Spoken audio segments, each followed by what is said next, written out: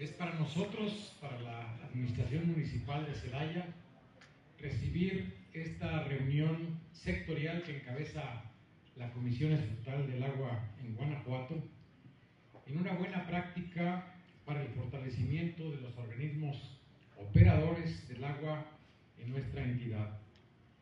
Una dinámica muy atinada que sin duda es una muestra muy clara y contundente del enorme compromiso que tiene el señor gobernador del estado, Diego Sinúa Rodríguez Vallejo, para todos los municipios del estado, para su gente y sobre todo para el tema más importante que hoy en día tenemos, que es el del agua.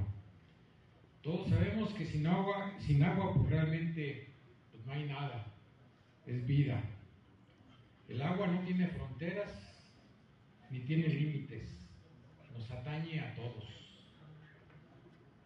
Es por ello que esta reunión se dirige como la gente de actividades que en Celaya hemos preparado en el marco del Día Mundial del Agua a conmemorarse el próximo 22 de marzo.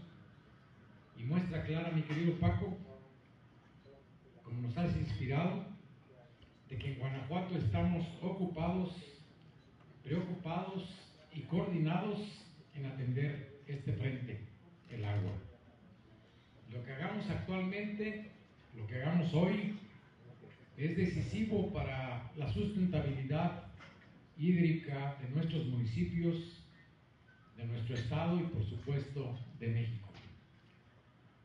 Siempre lo hemos manifestado, si no somos nosotros ¿Quién lo va a hacer? Y si no lo hacemos ahora, ¿cuándo lo vamos a hacer? Tenemos que accionar desde cada espacio en que nos encontremos para acelerar el cambio que nos está urgiendo en materia de agua para atender el estrés hídrico que estamos viviendo. Accionando políticas públicas, proyectos estratégicos, uso racionado y sobre todo demasiado responsable para el cuidado del agua desde el hogar, desde nuestro uso diario, desde el día a día en tema de huella hídrica, entre otros muchos temas. Para Celaya es un gran honor poder compartirles a través de nuestro equipo de Jumapa, liderado muy bien por nuestro querido Robert, parte del enorme trabajo que se ha realizado encaminado a garantizar el abastecimiento de líquido para todos los celayenses.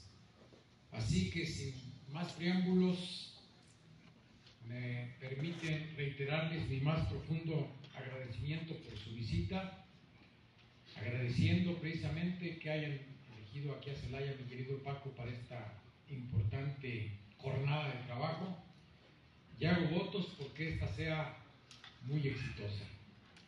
Enhorabuena, muchas felicidades, bienvenidos